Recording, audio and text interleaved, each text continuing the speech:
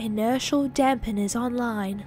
Stand by to engage warp engines. What? We haven't left the garage yet. There's a warp here. In three, two, one.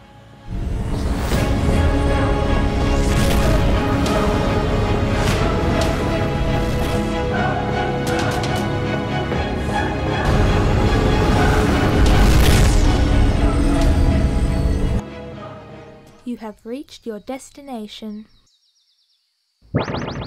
Follow the cue, Steven.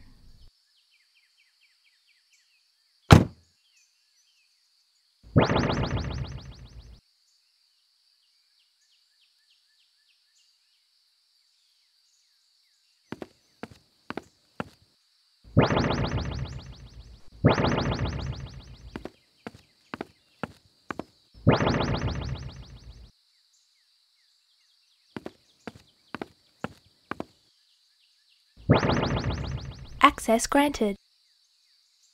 How does she do that?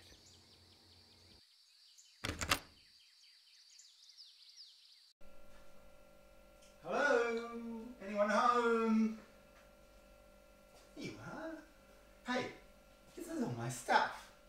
Tess, is this our new place? Affirmative. Thanks, Tess. This is much better than the old kitchen. I guess we should start unpacking. Would you like some assistance, Steven? Uh, no tricks? Direction unclear. Please repeat request. Are you going to help me unpack? Please specify how you would like me to proceed. Tess, please unpack the boxes and place contents into their appropriate cupboards. Working on it. Thank you, Tess. You're welcome. Well, that's amazing. Um, hey, um, I hope everything's in the right place, but I guess we'll find out. Hey, Tess, um, what's an inertial dampener? I think your brain is too small to handle the truth, Steven. And here I thought Tess had lost the attitude. Anyway, look, welcome to another episode of Steven's Quantum Qitchen, the show that dares to travel the universe in search of the finer things in life, like this week's dish. I'm your host, Steven Bloom, and this week we're making gooey chocolate pudding.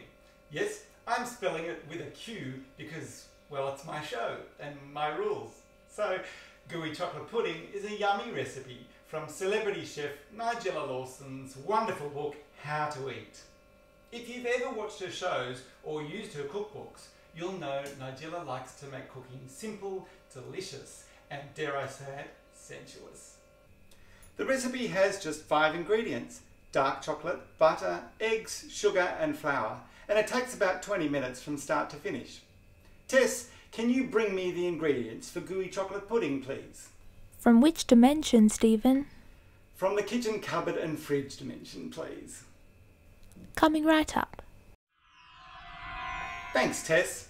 You're welcome, Steven. The dessert is made in four simple steps. Step 1 melting the dark chocolate with unsalted butter. Step 2 whisking in the eggs, sugar, and flour. Step 3 preparing the ramekins. And step 4 pouring the mixture into the ramekins and baking for 10 to 12 minutes. Okay, let's get started. Today I'm using my Thermomix to melt the chocolate and the butter, but you can use a microwave or the old-fashioned double boiler method. We'll be baking puddings, so preheat your oven to 180 degrees Celsius. I'm going to place 125 grams of the dark chocolate, which I've roughly chopped, into pieces into the bowl. Then I'm going to crush it finely. This might get a bit loud. Kind of like you're snoring, Steven. Oh, hush, Tess, I do not snore. If you say so. I think I need to turn down your sarcasm setting.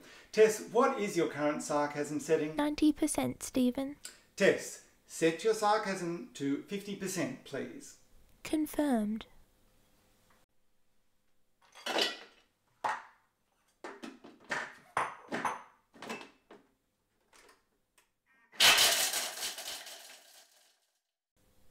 Now that the chocolate is thoroughly chopped, I'm adding in the 125 grams of unsalted butter and then we'll melt the two ingredients together.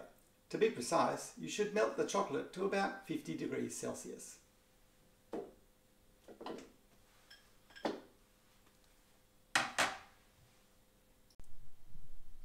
That looks good. Now we'll add three large eggs 150 grams of sugar, and 35 grams of plain flour. Now I'll have my magic machine blend everything together. If you're doing this manually, be sure to mix well and use a whisk if you have one. It should be smooth and have no lumps. Mmm, now doesn't that look yummy? Okay, let's set our mixture aside and we're going to prepare the ramekins. A little tip from Nigella, so the pudding doesn't stick to the sides, is to lightly grease the inside with butter and coat with a bit of flour.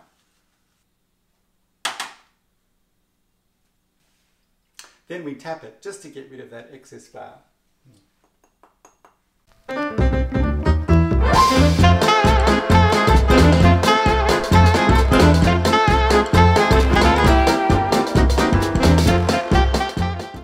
Now it's time to bake the puddings.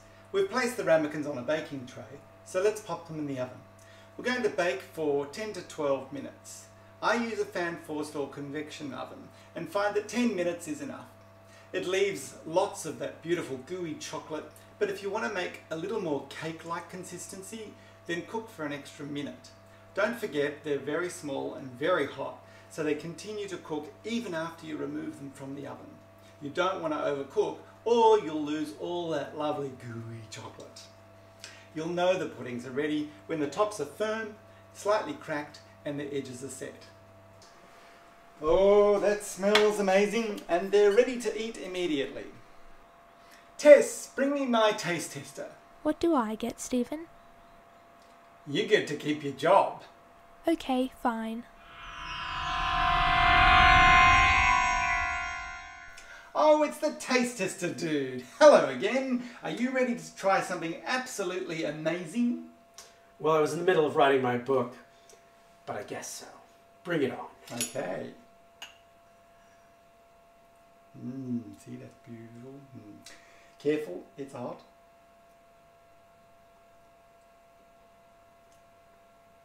Oh man, that's better than my book. Excellent! Well, as we say on the show, another SQQ triumph. Tess, please send him back to his writing desk. Done.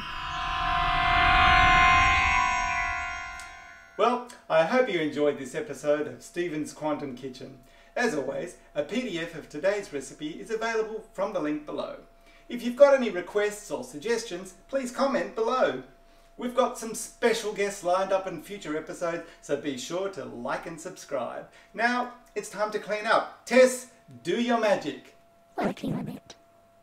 Tess, is everything okay? A zero override error has occurred. Backup system has been activated. Tess has been moved into protected storage. Thanks. Uh, uh, um, what do I call you? You may call me Zoe.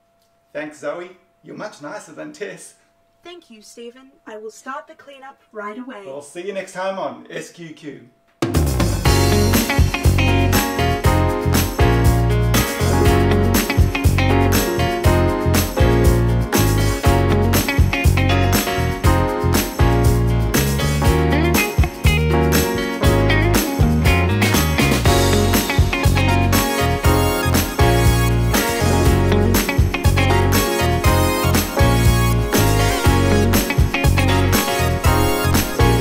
Middle writing my book, but here I.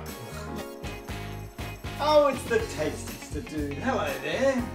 Uh, sorry, go back. Hello Sorry.